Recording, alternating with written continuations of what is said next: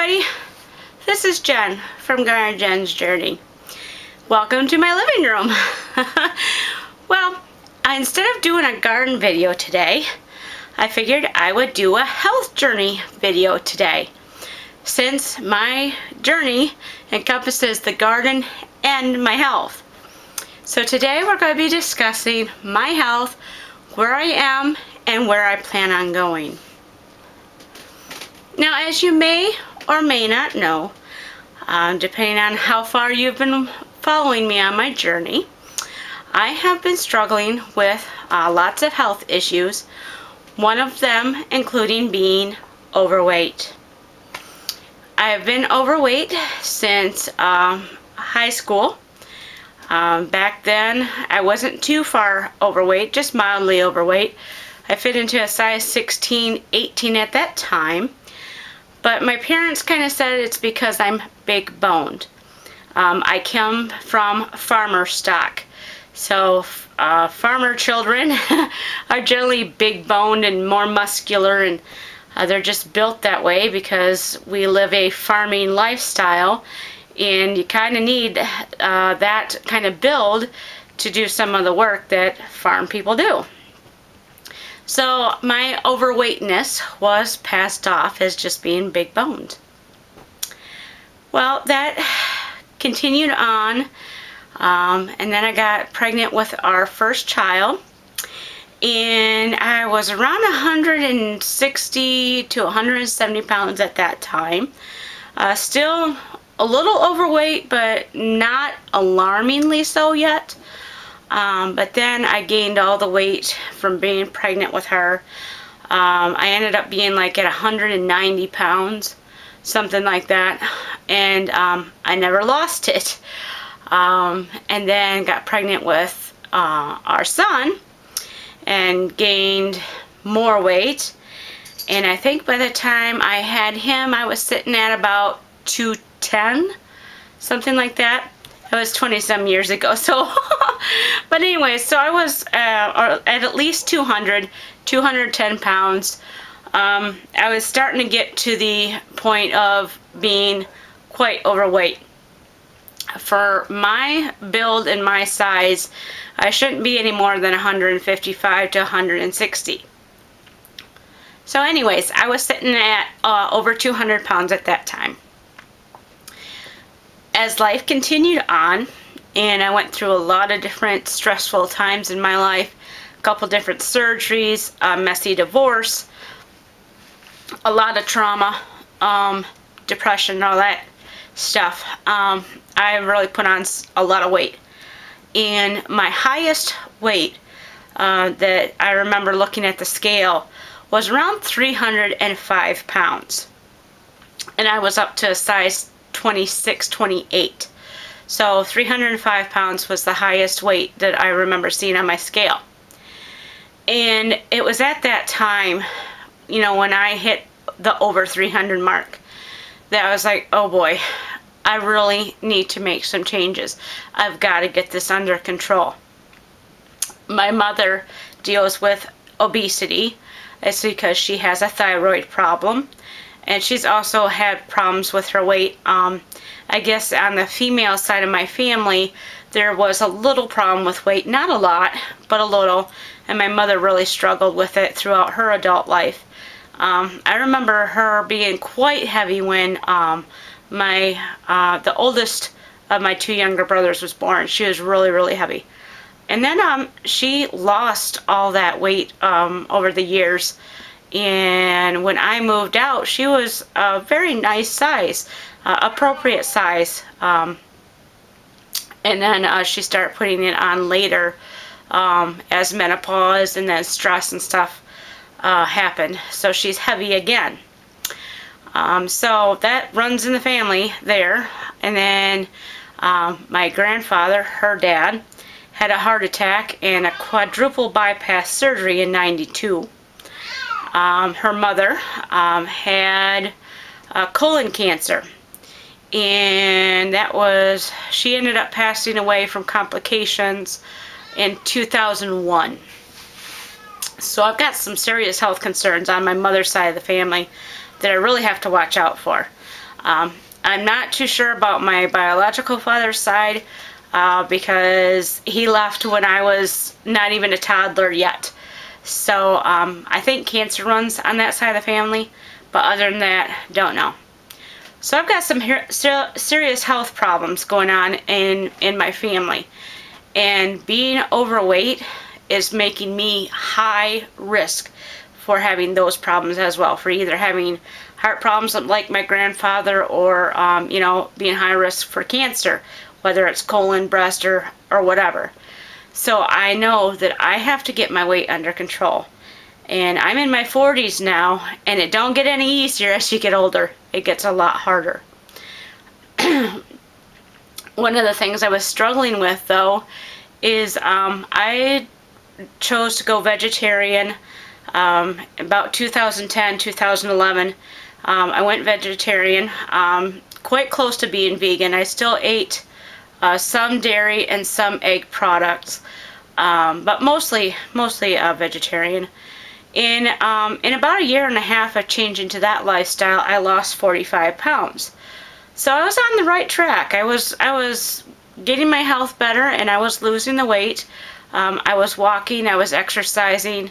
I tried going to the gym uh, as much as I could and then um, my my health actually started deteriorating as sidelining my exercise ability.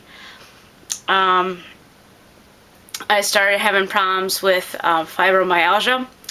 Uh, makes me hurt quite a bit, makes me really tired. Um, I ha also have uh, chronic fatigue syndrome, and that and fibromyalgia are, are quite similar in symptoms, um, but they're also separate at the same time. So I deal with both of those. I also have um, what's called vestibular migraines, which means instead of me getting headaches, like a lot of people associate with migraines, I get dizzy spells. Really, really bad dizzy spells. Um, sometimes it's not too bad. It's just uh, like if I was walking on a ship that's getting tossed at sea, um, I really have to be careful and watch my footing. Other times, it's like I'm on the tilt-a-whirl at the fair and I can't get off. Um, so I have to lay down and depending on how severe the attack is, it can last anywhere from 12 to 48 hours. Um, so that sidelines my exercise as well. Um, so exercising has really, really been a struggle for me. Um, so I've been paying more attention to my diet, what I eat or what I don't eat. And I'm very careful on trying not to eat junk food. I try to eat whole food plant-based diet. Um, I don't eat a lot of processed food. Once in a while I'll binge on some chocolate uh, candy bars or something like that but it's not an everyday thing. I'm generally eating pretty healthy. So um, I've remained at around 270 now for about a year, um, year and a half I think of, of what, what it's been. Um, and so trying to figure out why I'm not losing weight even though I'm generally eating pretty healthy. So I decided to start tracking exactly what I ate a lot of people uh, say that overweight people are overweight because they eat a whole bunch of food.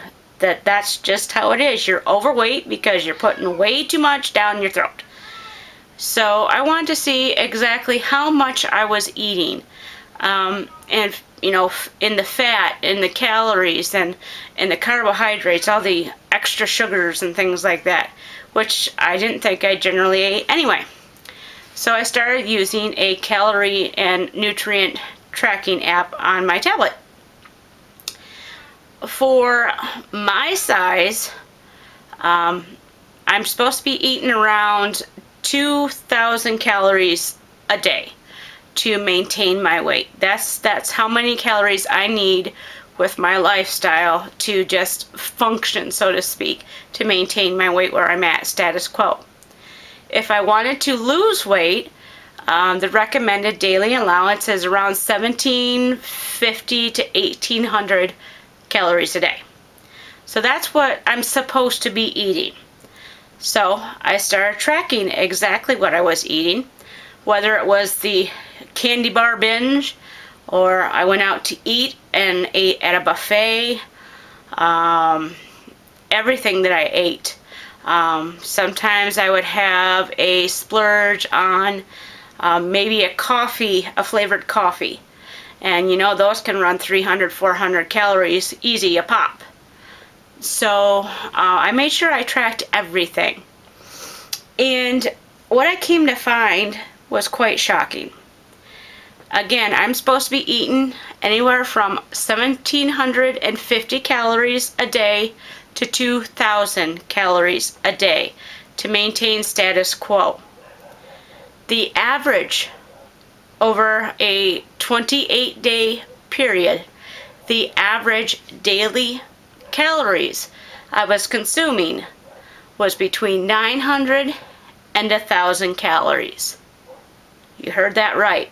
Between 900 and 1,000 calories daily. That's a lot less than what I'm supposed to be eating just to function. So my body was literally starving.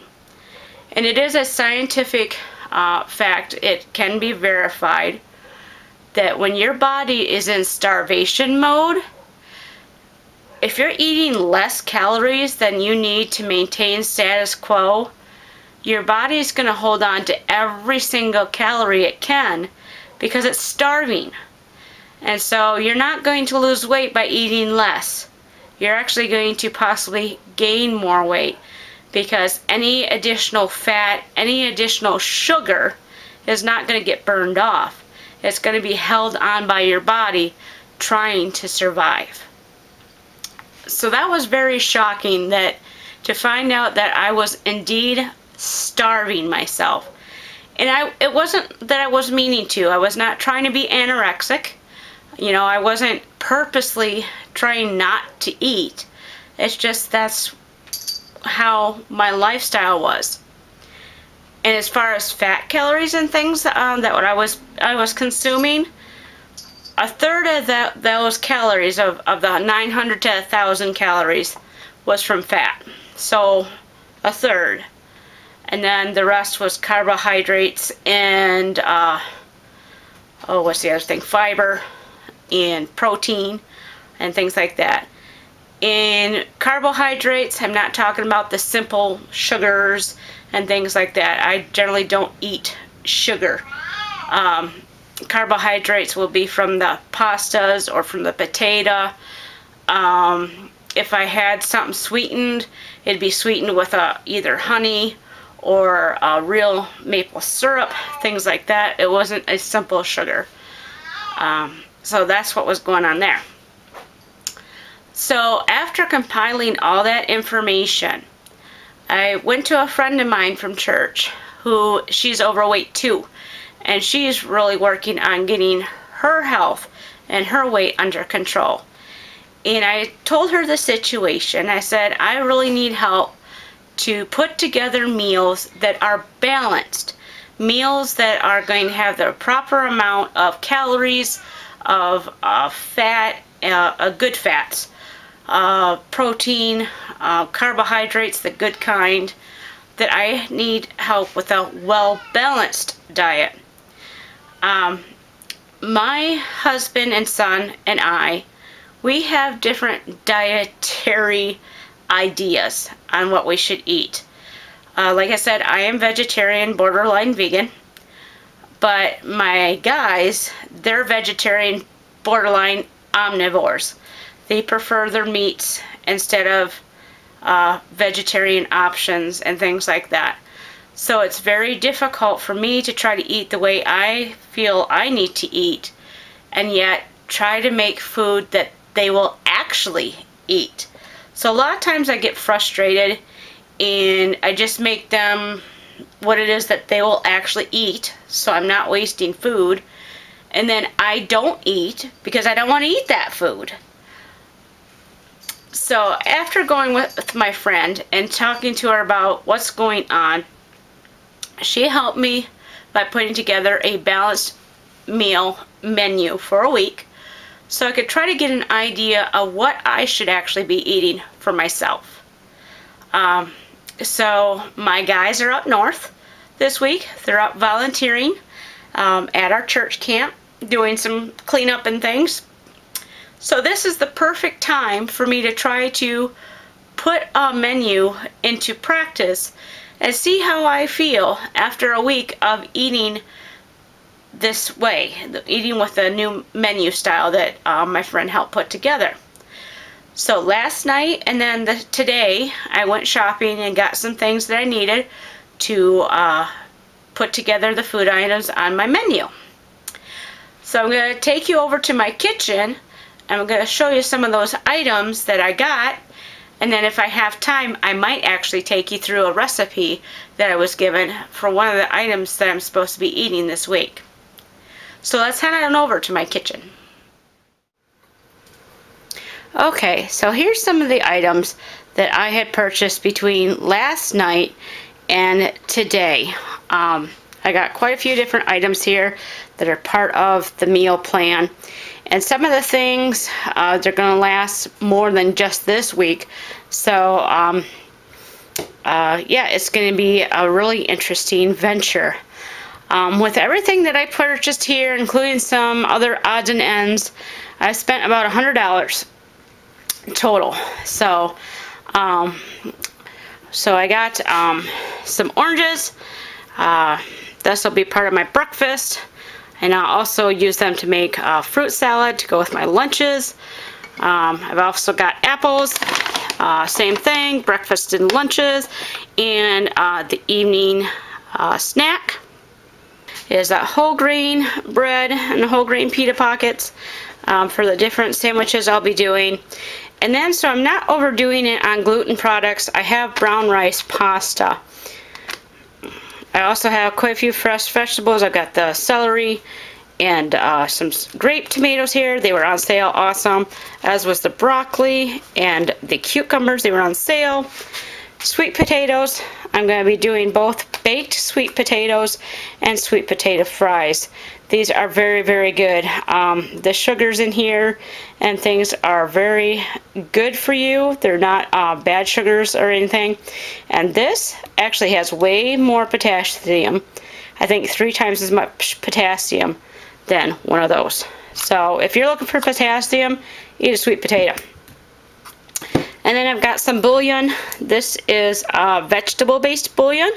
So um, I can make some lentil soup and some other soups with vegetable stock. I really love this brand, so that works. Um, I have tofu here. Um, like I said, I do uh, non-dairy when I can. Um, so I do have tofu uh, to do egg salad and scrambled eggs instead of using um, actual eggs themselves. So we're going to be uh, working with this later on to do the tofu egg salad. So I can make that today and have it sit overnight, get nice and um, mingled with all the flavors, and then that'll be for tomorrow's lunch. And then I also have uh, applesauce with the apples. My friend told me that a good thing to do is have toast with your applesauce and your peanut butter on it. And I thought that was really weird, um, but she said actually it's really good and it's really healthy for you. It kind of balances itself out. So I'm going to be trying something new tomorrow. And then these jars over here, um, I just did uh, three Hubbard squash. I did another one today. So these are a canned uh, squash from my Hubbard squash. So I'll also be using some of these throughout the week too as a vegetable to go with the rest of my meals. So there's some other things that I don't have on this table that's going to go with um, my different meals and stuff like that. But this here is basically what I'm going to be eating all week. Okay, so one of the things that's really going to help me this week is something I've tried implementing before, but uh, with my family's different uh, dietary lifestyles, um, it's been uh, really difficult to keep um, in practice. But again, since I'm home by myself all week this week, I figured I'll give it a go again and uh, see how much it helps me. And that idea is doing meal prep, meaning that uh, on a day like today, Sunday, the beginning of the week, I'm going to uh, use these containers and cut up my fruits and vegetables and get um, as much of the meal prep work done as possible today. That way, uh, throughout the rest of the week, I can kind of just like grab and go. Um, I already have things prepared in my containers. I can just take the containers and dump and cook and all those kinds of things. And it really cuts down on time during the rest of the week. And uh, so it's not so much a deterrent of trying to get a meal prepared when you're really busy or maybe you're not feeling good. Um, but to already have it ready to go, you just need to throw it in the pot and cook it or whatever. So um, I got a couple different uh, meal prep containers um, that I really, really like. And I'll put the links in the description box below. I got these off of Amazon. Uh, the first one, uh, this is by Fullstar. And it has uh, these nice uh, airtight um, containers. Um, they're, they don't leak or anything. They're really nice. Very uh, sturdy. They're microwavable, freezer uh, safe. You can put them in the dishwasher. Um, very good. They stack really nice. Um, and a lot of them actually sandwich together. I don't have them that way right now, but uh, they actually sandwich together and um, save you space in your storage area. And it's going to make me a liar today. but, uh, yeah, so see if I can put that in there. And that might not be the right one for this one. But um, it stacks pretty well in the, in the pantry. So I really like the Fullstar one. And then another one that's a little bit simpler, but same idea, is uh, uh, this is by Prep Naturals. Again, I got it from Amazon. And these are the very simple food prep containers. There is nothing really fancy about these guys at all. These kind of remind me of deli containers. So you have your your container and your lid, just like a deli style container. But these are very sturdy as well. They're very flexible. Um, dishwasher safe, freezer safe, microwavable safe, and they stack very well as well. So you could get quite a few containers of these done and have them stacked in your refrigerator, ready to go when you're ready to cook. So, and I will put the link to both these below. But uh, having your meal prep work done ahead of time is a real lifesaver and a diet saver as well. Now I'm starting on the prep work for my uh, eggless egg salad sandwich bread, which is made with tofu. And uh, so one of the things I'm doing is prepping my celery. And don't yell at me, I do not have mad knife skills. don't cringe either. If you don't like my knife skills, don't look. Um, I just don't have the motor coordination to do it the way chefs do. but I do it the way that works for me. And so far, in my 20 some years of cooking, I have not cut myself. So...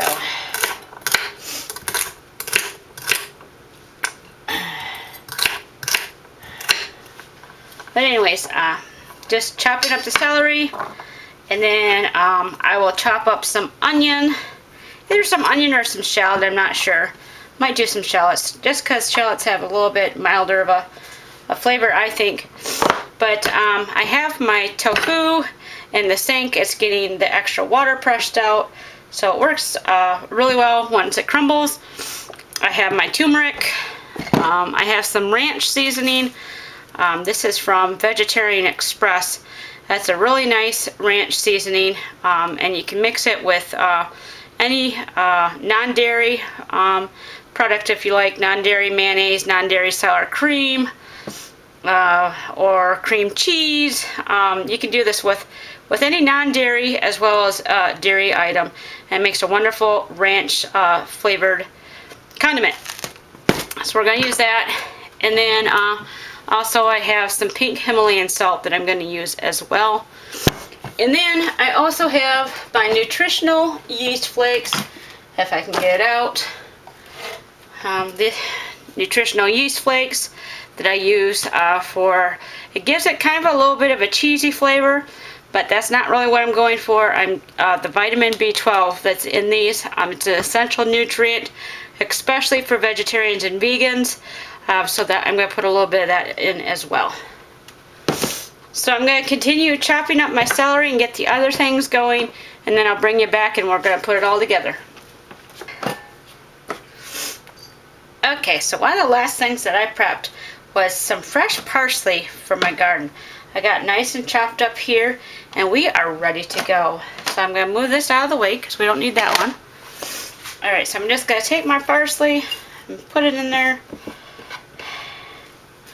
This is uh, probably about two or three tablespoons worth of fresh chopped parsley.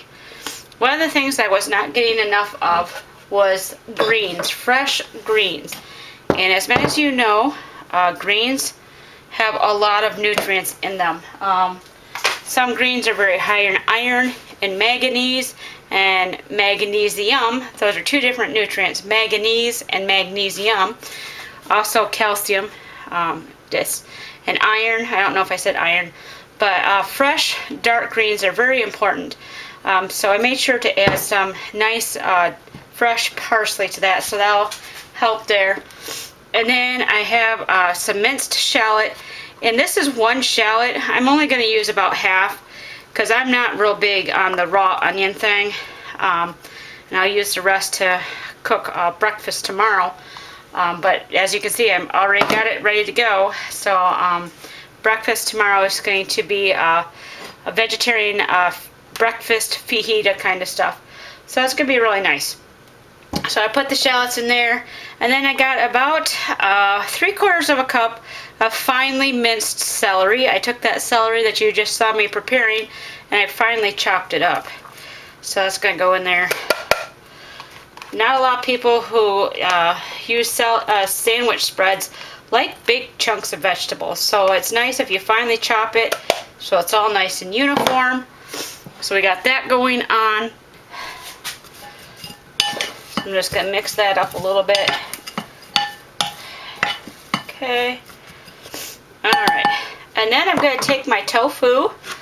This is uh, extra firm tofu. And I'm just going to take it and I'm going to crumble it to kind of get like the uh, egg texture, this the chopped up hard-boiled egg texture. Alright, so that's pretty good. Again, we're making sure we don't have any big chunks of tofu either. Um, tofu by itself can be quite bland and nasty to bite into. So you want to make sure that you have it small enough where all the seasonings are going to mix with the tofu and make it really taste like a egg salad sandwich spread. Alright, so that's pretty good. Now we're going to add our seasonings. My friend is not a cook that measures out things. She goes by eye and by taste. So she gave me a general idea of how to make this uh, in a way that she says tastes really good. So that's how I'm going to share this with you. And, uh, you know, if you're one of those who needs an exact measurement, this recipe is probably not for you. So we're going to take the turmeric. Turmeric is very good. Um, for an anti-inflammatory, uh, but its yellow color also helps make this more look more like an egg salad sandwich. And uh, so her idea was that you just take it and you're going to coat the tofu like so. See how it's nice and evenly coated with the turmeric. She says that's how she measures that. Same with the Vegetarian Express. I'm going to take that. We're just going to lightly put a nice little coat over it like that. The salt, I'm going to do about a pinch of salt to start. So just take that over there. And then the same with the nutritional yeast flakes as we're just going to co cover the top with a layer of it. Make sure it's good and covered. There we go. So everything but the salt, we just evenly coated the tofu with. And now we're going to take that and we're going to mix it up.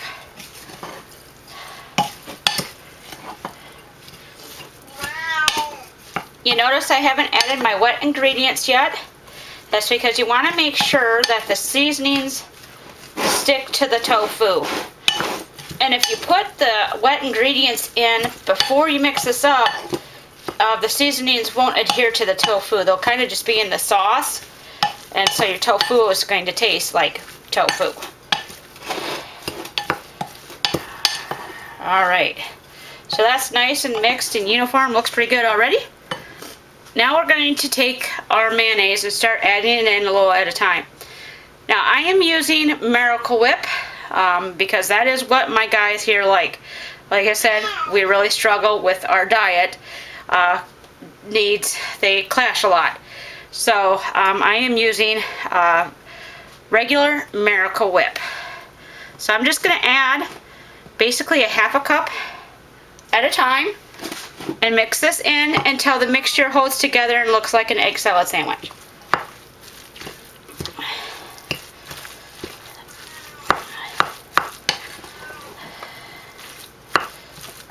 Oops, I'm making a mess. Needs just a little bit more, not much.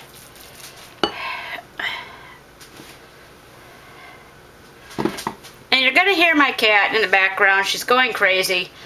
That's normal for her. Nothing's wrong with her. It's just the way that she is.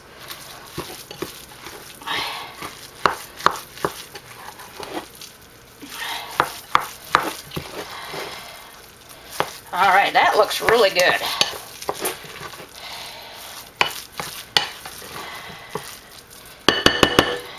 Alright.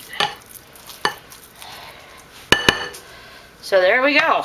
There is our eggless egg salad sandwich spread.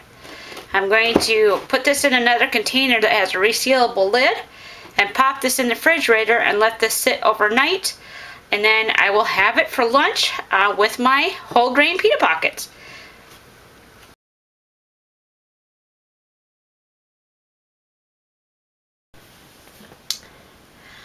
So I hope you enjoyed this little different type of video today and uh, learning a recipe that I'm going to be utilizing this week as I try to get my nutrition back on track. I'll try to upload some more videos this week as I have time. Um, maybe get some more of the recipes that I'm working on this week out to you guys so if you want you can try them too. So I thank you so much for watching everybody and following me on my journey. I hope that wherever you are, you are wonderfully blessed. Have a great day, everybody. Bye.